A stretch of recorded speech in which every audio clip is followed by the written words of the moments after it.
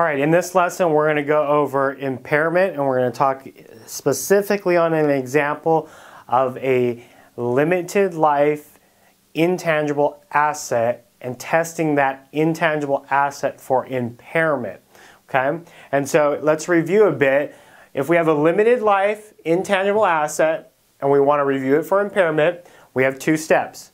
Step number one is we're going to use the recoverability test to see can we recover enough future cash flows that offsets our carrying value. Okay? And if it doesn't, then we will move on to step two. And step two is we're going to use the fair value test. Okay? I'm going to read you an example. Below will be the example, and then we'll kind of go through the calculations that I have on the board. So, our example says Black Asset has a patent on a machine that produces their widget for sale to businesses throughout the world.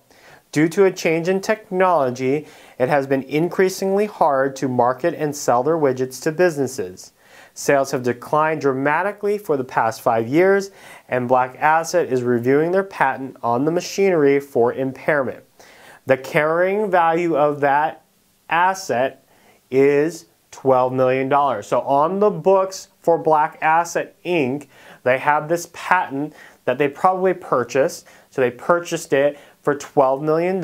So it's on their books for $12 million. That's how much they're carrying it for. So if you look on the assets, you're going to find patent and you're going to find $12 million. Okay?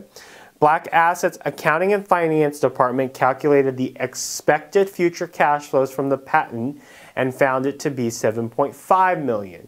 So 7.5 million future cash flows. What we're saying here is we're saying that uh, for the foreseeable future, whenever the expiration of this patent is, between then and now, our future cash flows is $7.5 million. So we will recover $7.5 million from use of that patent over the next X amount of time period when the patent then expires, okay? Or the useful life is no longer there. Okay? It was further determined that the fair value of the asset is 5.5. So if I were to actually sell this asset, this patent out in the in the world, it would be worth 5.5 million dollars. So it's on our books for 12 million. It's worth 5.5. We think we can get 7.5 million dollars over the rest of its life, whatever life it would be. 10 years, 5 more years, whatever it is. Okay? So, step number 1 is the recoverability test we look at our carrying value, and we look at our future cash flows. Okay? So I don't care right now at fair value. Okay? I know that it's worth less than we have it in our books. So the way that we're going to do this is we're going to put our carrying value of 12 million and our 7.5 million together. Okay? Now the question is, going back to, I don't know, algebra or pre-algebra, which one's bigger? Well, we know that the carrying value is bigger, so we would have a greater than sign there. So 12 million is greater than 7.5 million. Makes sense? Seems logical. So the carrying value is more than the future cash flows. So I'm going to get, it's on our books for more than what I can get in the future of using this patent there means that means that there is a possible impairment. We're not saying that there is an impairment, there is possibly an impairment. Okay? So then we move on to step two, fair value test.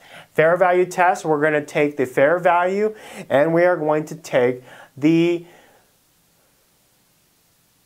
carrying value. So fair value is 5.5. So we'll put 5.5 there.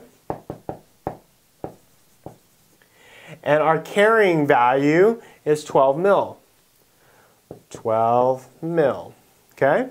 So which one's bigger? Well, again, 12 million is bigger than 5.5, so we'll put the less than sign there. So 5.5 million or the fair value is less than the carrying value of $12 million. Therefore, there is an impairment and we're going to book a loss.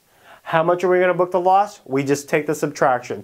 12 minus 5.5. 12 minus 5.5 is $6.5 million. Okay? And so we would have a $6.5 million impairment loss. Our journal entry would be loss, debit loss on impairment for 6.5 and credit the patent for 6.5. Okay. Typically, I mean, if you have um, accumulated accumulated amortization, you can do that too. Um, typically, with intangibles, we take it right back to the actual intangible asset. In this case, patent. So that's an example of a limited life impairment test for an intangible asset.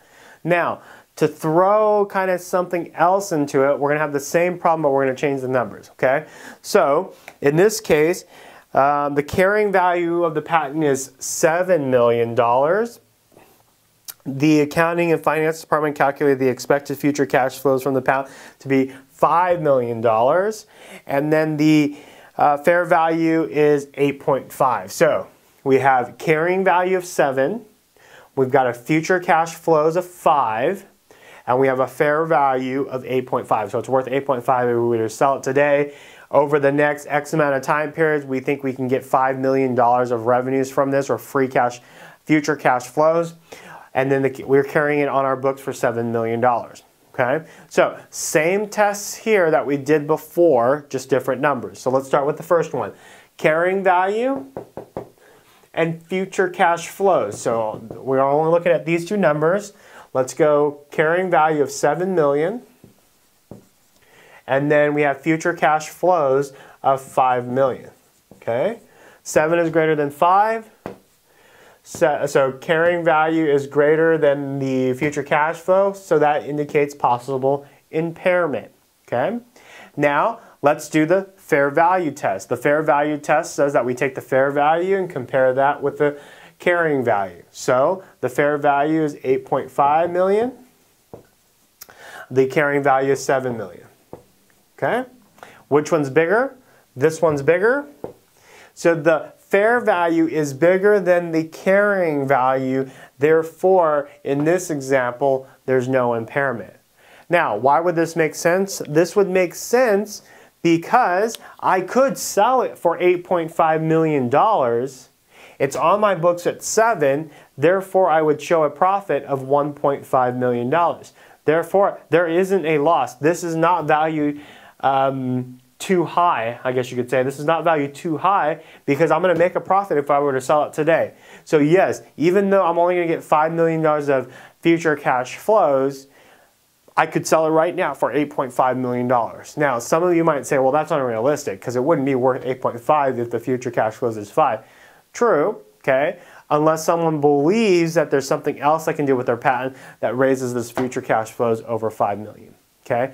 Now, before I end this lesson, uh, this part right here we would use for a indefinite life intangible asset. So we're not going to do an example on an intangible, uh, sorry, an intangible asset that has an indefinite life, but we would start here. So we would almost not even care about our future cash flows, okay? And we would just purely look at the fair value and the carrying value. So if this was a indefinite, okay, infinity and beyond, we would simply look at fair value and and carrying value. Notice here, the fair value is less than the carrying value. So if this was a trademark, we would write this down immediately, down by 6.5, and when we get the same entries. Okay?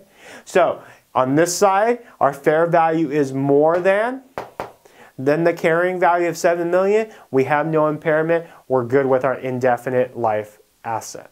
Okay, so again, if I change this up just a bit, uh, with an indefinite life intangible asset, we wouldn't use the recoverability test. We'd go straight to fair value and we would look at the fair value and carrying value here, fair value, carrying value here. We would still have a loss here and we would uh, still have a uh, non-impairment over here. So hopefully that helps you out with understanding both limited life and indefinite life, intangible assets, and testing for impairment. In the next video, we're going to go over goodwill because goodwill is a little bit complicated as we talk about reporting units and then implied goodwill.